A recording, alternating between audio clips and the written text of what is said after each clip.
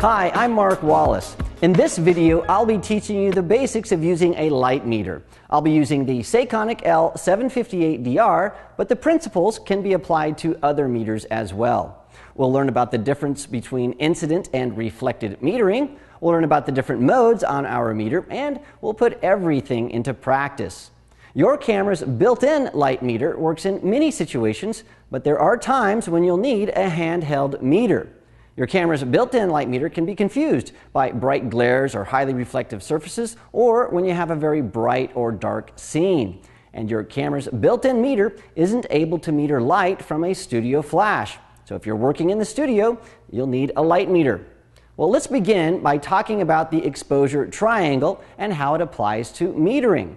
Our camera uses three things to create a proper exposure the shutter, the aperture, and the ISO setting. These three things make up the exposure triangle. The aperture, shutter, and ISO work together to give you the correct exposure. With a light meter, you enter the ISO and one other part of the exposure triangle, and the meter gives you the third part.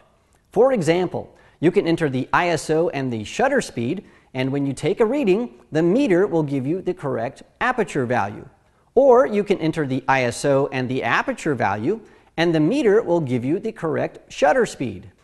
If you're metering studio strobes, you'll always enter the ISO and the shutter speed, and the meter will give you the correct aperture value. Using a meter is very simple. Just remember, we entered two parts of the exposure triangle, and the meter gives us the third part. For example, let's say I'm shooting a portrait on location, and I know that I want to use a wide aperture of, let's say, f2.8 to achieve a very shallow depth of field? Well, I'd enter my ISO and aperture value on my meter, take a reading, and the meter would tell me what shutter speed to use for a proper exposure. Or if shutter speed was important to me, I could enter the ISO and the shutter speed, and the meter would tell me what aperture value to use for a proper exposure. We can use our meter to measure ambient light and light from a flash. Now, there are two ways to meter light. There's incident and reflected metering. Let's take a look at these two types of metering.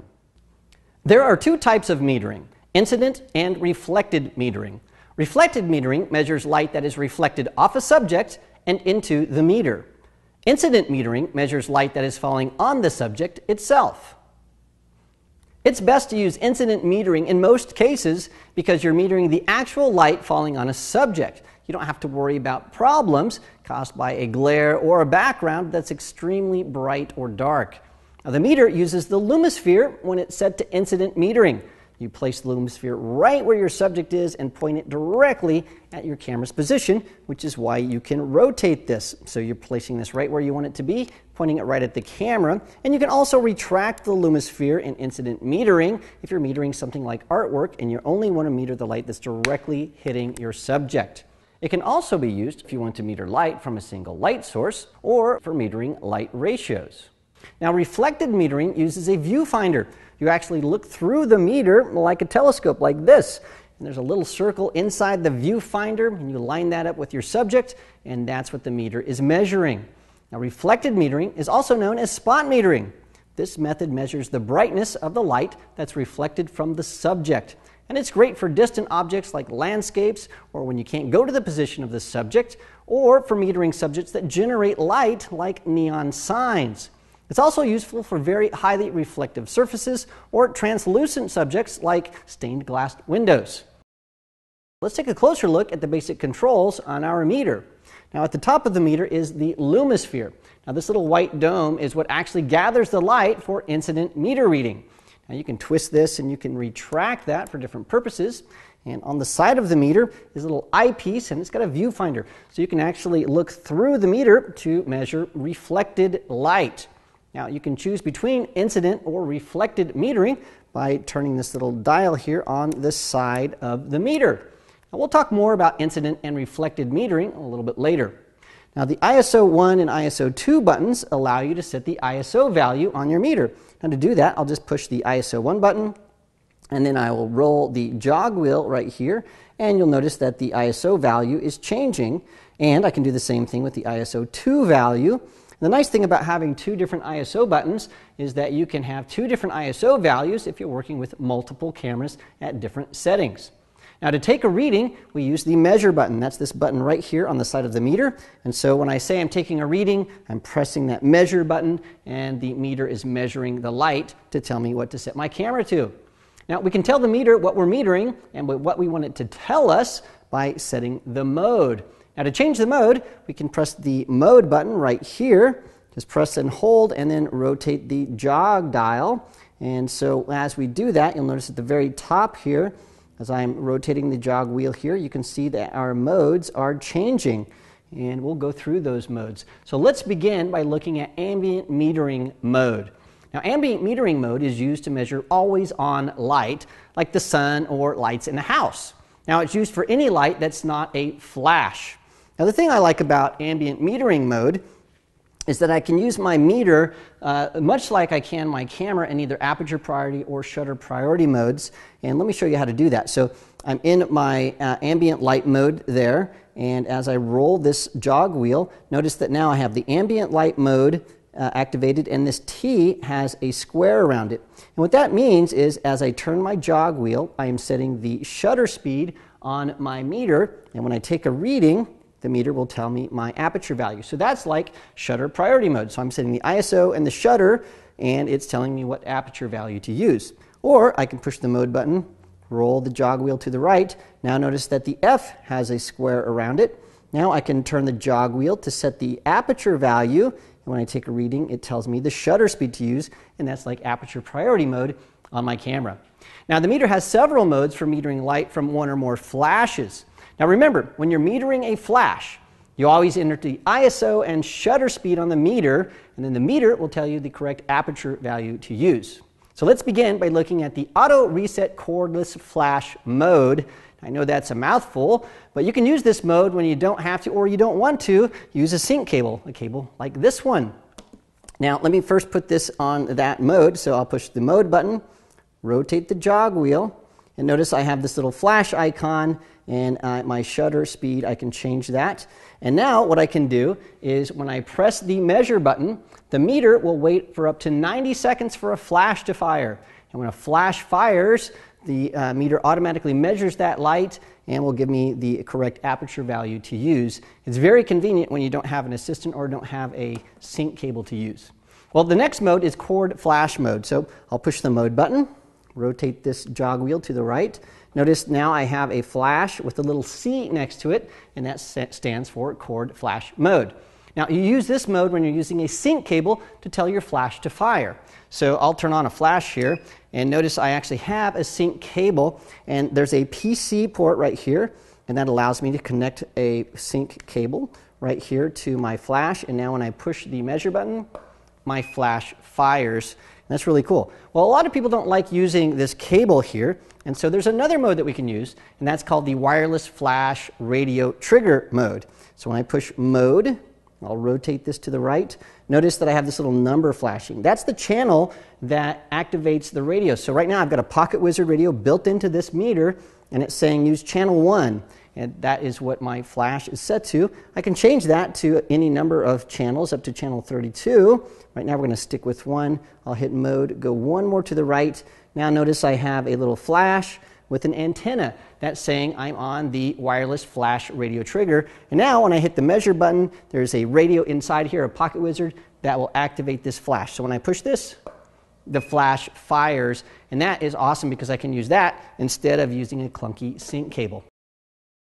Metering in ambient mode is very simple, and as I mentioned before, you can set your meter to meter for a shutter priority or an aperture priority mode, so you get to choose what's most important to you. Now to me, in this scenario, the depth of field is the most important thing, and so I'm metering at an aperture value of 4.5. I have my meter set to an ISO value of 200, so my meter will tell me the correct shutter speed. So what I'm going to do here, so I've got that all set up, I'm going to meter with the Lumisphere up, I'm going to point the Lumisphere toward where my camera is going to be, which is right over there. I'll take a meter reading, and this tells me I need to shoot at a shutter speed of 80th of a second. So Sam, if you'll hold that, I'll just walk right over here, set my camera to an 80th of a second, and we'll take the shot, and that looks terrific.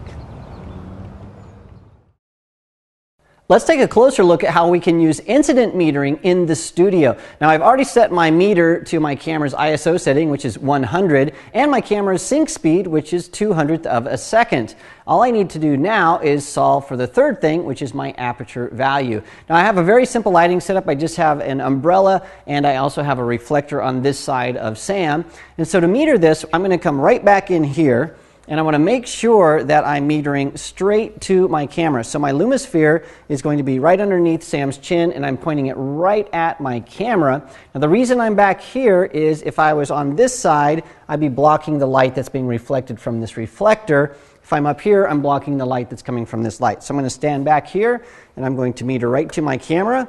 I get a meter reading of 11, so I'll just come over here to my camera, set my camera's aperture value to 11 and then I'll take the shot. So look right this way, Sam. Beautiful. I love it. Well, here I am in downtown Phoenix, Arizona, and I just took some pictures of the Phoenix Convention Center that's right behind me. Now, that caused some issues when metering because we have a really bright sky, some really bright areas in the scene, and some really large dark windows. So I needed to make sure that I didn't have anything overexposed. And also, it's not really close to me, so I can't use my incident meter. I need to use reflected metering. So the first thing I did was put my meter in reflected metering mode, and then I started metering at the very brightest areas on the building, and then I metered those dark windows, and then I pushed the average button, and my meter told me that at F13 I needed to use a shutter speed of 500th of a second. Once I had that all dialed in, I took some pictures, and look at what we got. Another reason you might want to use reflected metering is in the studio to understand the relationships between your brights, midtones, and darks. And so let's head over to the studio and I'll show you that right now. So this scene is a, a, very high contrast scene where we have panels that are going to be some gray. This middle one is completely black, and this other one is also a dark gray. And then Sam has a very contrasty look as well. We have a grid illuminating her, and we have this very bright light falling on her hair. I want to make sure that all of that falls within my camera's dynamic range. And to do that, I've calibrated my meter to my camera, and at the bottom of the meter, I have a scale. And as I'm metering different things in my scene, those different things will show up as dots on my scale, and I can see immediately if things fall within my camera's dynamic range.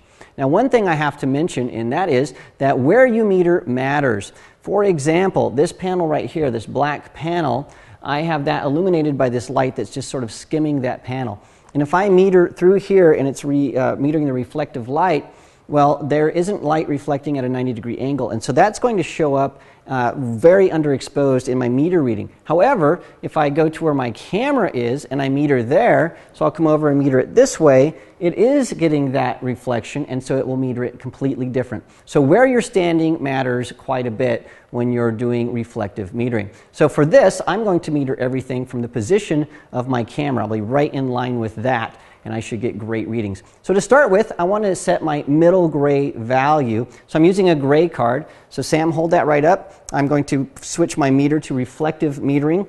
I can look right through here. I'll take a reading and then I'll push my memory button and now that has a middle gray uh, point on my scale and everything will be in relationship to that.